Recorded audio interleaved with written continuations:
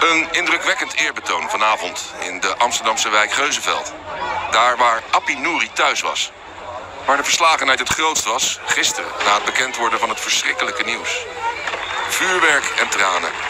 Veel tranen. Nouri klinkt over het plein.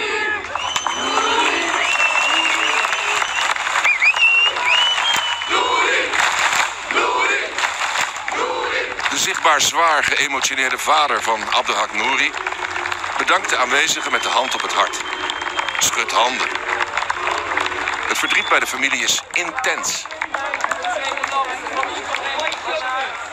En onder luid applaus meldt een aantal van de Ajax-spelers zich bij het ouderlijk huis van Appie. Boezemvriend Donny van der Beek, Huntelaar, Cachera, Viergever, Younes, De Licht, Dolberg, Sanchez. Ook zij hebben het moeilijk.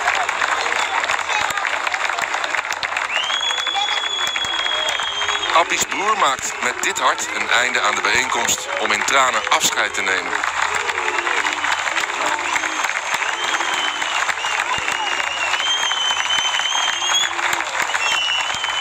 De aanwezigen gaan terug naar het pleintje.